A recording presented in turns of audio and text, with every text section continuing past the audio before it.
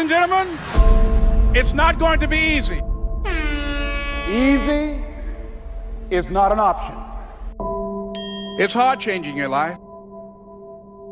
You've got to take personal responsibility to make it happen. And you've got to resolve within yourself that I can do this, that it's hard. But you've got to say, I'm the one. I'm the one to make this happen. I'm the one to become successful. Because that's what life is about stretching and challenging, looking for ways that you can begin to improve yourself.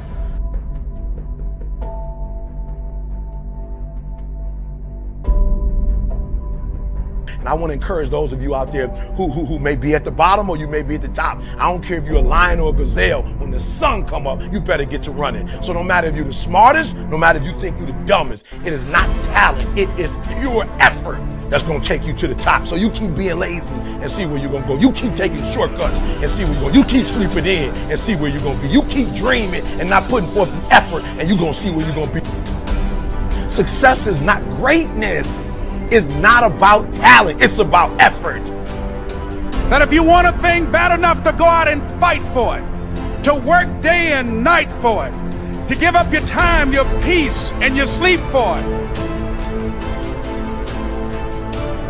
Know what you want. What do you want in your marriage? What do you want with your son and your daughter? What do you want in your health? What do you want financially? Like, how much money do you want to make a year? What do you want to drive? How do you want to live? Stop just waking up like an accident. What do you want? And then once you find out what you want, spend the rest of your natural life waking up and going after.